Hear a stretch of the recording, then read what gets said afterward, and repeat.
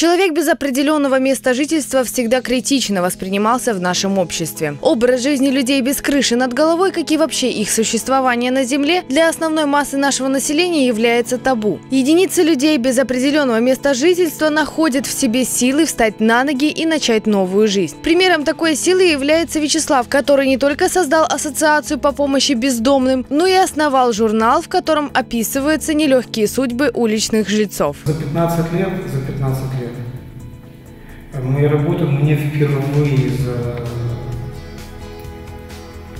бесплатно предоставили вот этот маленький конференц-зал и кабинет. Вот. Плюс предоставили место работы только благодаря Юрию Петровичу, вот, что вот в такой гостинице. То есть сюда не стыдно пригласить уже. А раньше у меня был спецприемники комнаты. Ну, спецприемник закрыт. Что теперь люди знают, что приходят сюда чаще кофе можно выпить, посидеть, поговорить. Вот сейчас э, шведский журналист здесь, он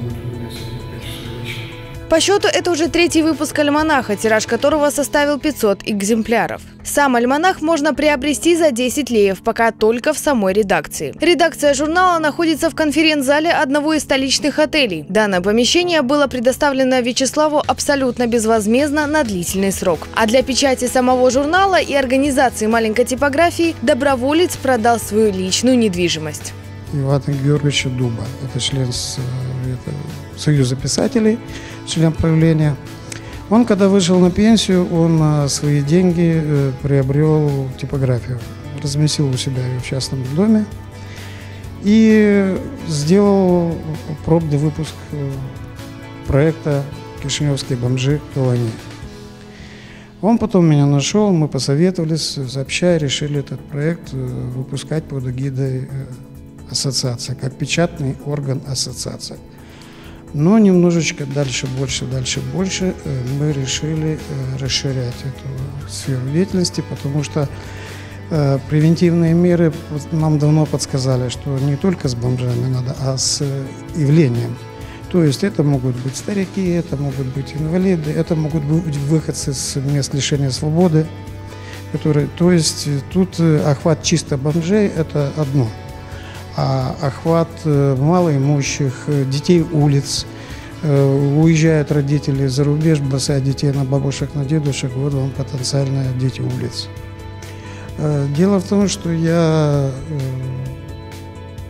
пару раз издавался и как раз таки писал о истории бомжей, скажем так, Молдовы, и заинтересовал Ивана Георгиевича Дуба. Это член это, Союза писателей, член правления. Он, когда вышел на пенсию, он на свои деньги э, приобрел типографию. Разместил у себя ее в частном доме и сделал пробный выпуск. Э, в будущем Вячеслав хочет включить в него советы юристов и врачей, для того, чтобы бездомные читатели могли руководствоваться советами при восстановлении документов и знали свои права и обязанности. Значит, этот журнал, я сказал, что мы хотим увеличить тираж раз, э, немножечко увеличить мощность типографии. И самое основное, э, журнал, в принципе, был рассчитан только на бездомных.